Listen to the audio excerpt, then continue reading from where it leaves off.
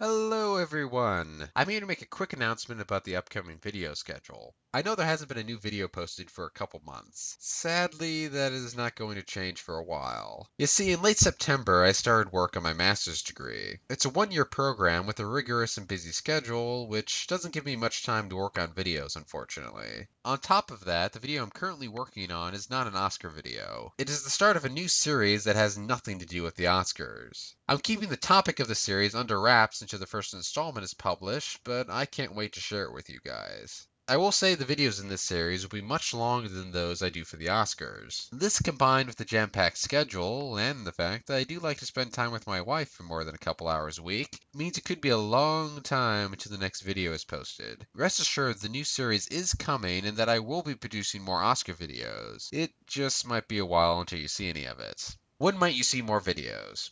I'm not sure.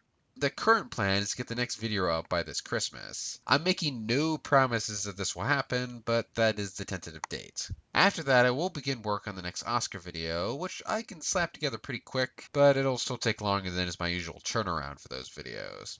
Lots of cool things are coming, and that's the point of this video. They are coming. So I thank you in advance for your patience, and I wish you all a great fall and early winter. Catch you later.